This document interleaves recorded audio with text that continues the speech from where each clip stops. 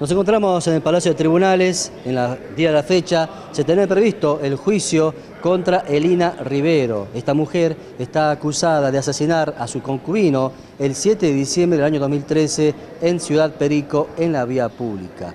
Las causas del deceso del hombre fue una herida con arma de fuego.